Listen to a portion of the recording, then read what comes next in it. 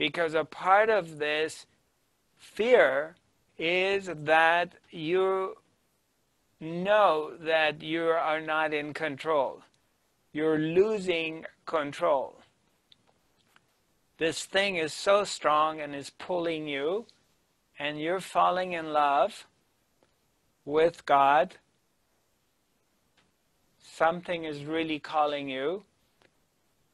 You're not interested in other things. Everything else is boring you.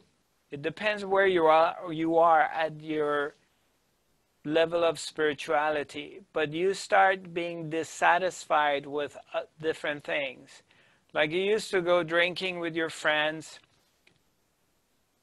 you kind of lost your interest in doing that. Or you used to get together with your friends and play cards, or the worldly stuff. People sit together and talk about politics. You start losing your interest in the worldly stuff. And it could be very subtle and it could be very quick. It depends on who you are and where you're at. So sometimes it takes a lifetime. For those of you who are older and you've been on this path for a long time, so you've been brought to this place gradually and you're cooking. And on this way, a lot of things can happen a lot of you may go through a lot of severe challenges in this life. So all kinds of things can happen to you, whether physically you go through challenges, whether you've been abused uh, sexually in your childhood, you've been abandoned, you've been beaten up, you've been raped, uh, you've been kicked out of your home, you had abusive parents, maybe in your earlier parts of your life. Um, all kinds of different things could have happened. I'm not saying necessarily that is always going to be bad stuff, but normally it's shock treatments. Because if good things keep happening to us, we fall asleep. But when this awakening part happens, the activation begin to happen. Normally it's shock, shock treatments. And what they do is they take you into isolation. A part of this path is that you get isolated. And this in this isolation you're forced to face yourself. And normally in this isolation this this taste starts to happen.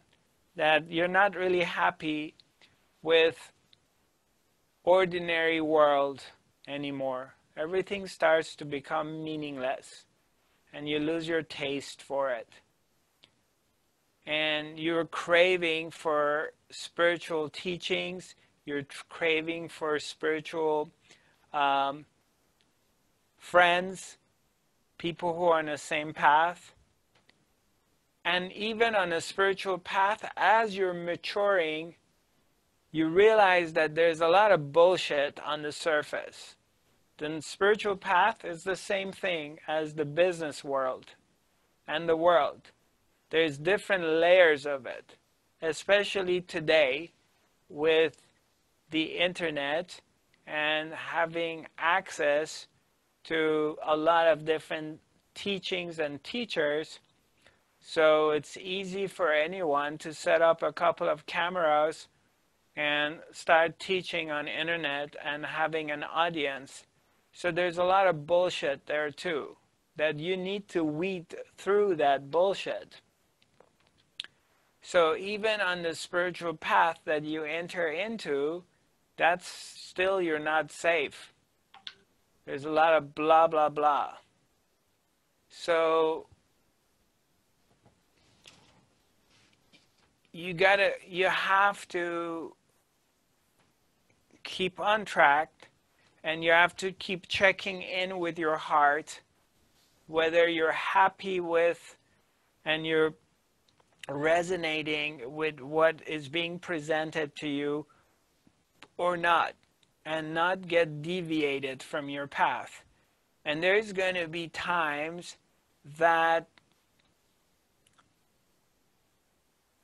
what happens is a lot of people are going in this direction to whatever and you feel like oh okay maybe i should follow them because if i don't go with them i'm going to be alone so you and you're not really into it but you kind of want to be with your group so you deviate and you go in that direction. And normally it ends up you end up being uh, dissatisfied. And you come back.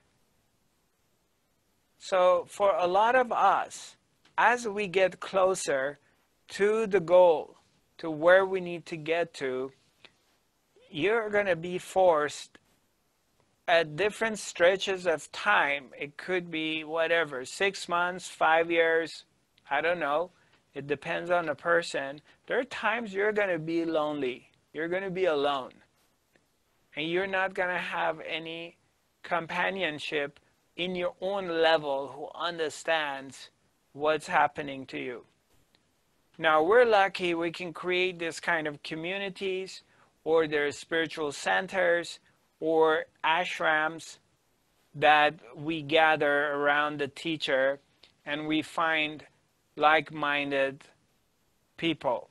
And then they're open-hearted and you find some friends. So but i'm just sharing with you that the way out is not necessarily easy.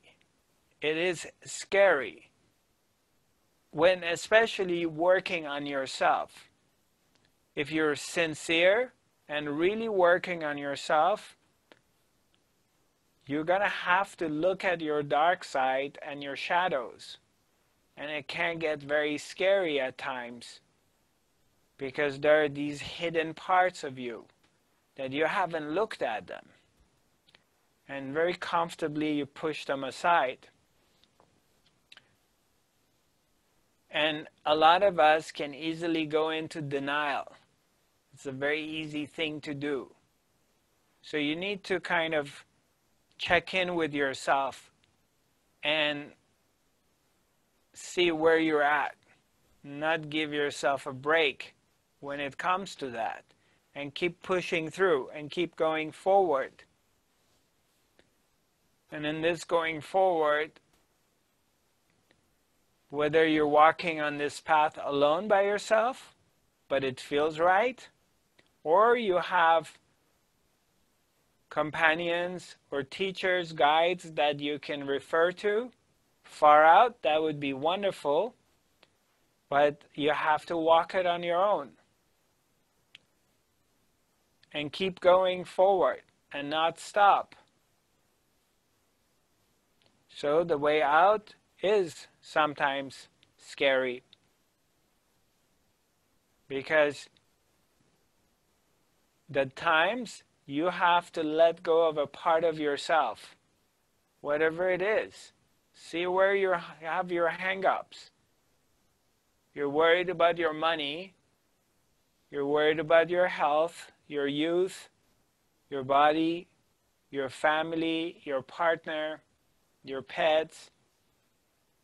Just see where you really get really frightened about and you're going to have to let go of all of them. At the end of the day, when they call you home and you got to go home, you're going to have to let everything go.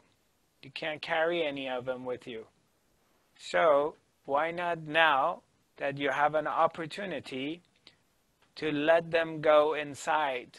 I'm not saying that you donate all of your money to some someone or an institution you let it go inside yourself. Or you let go of your partner inside yourself.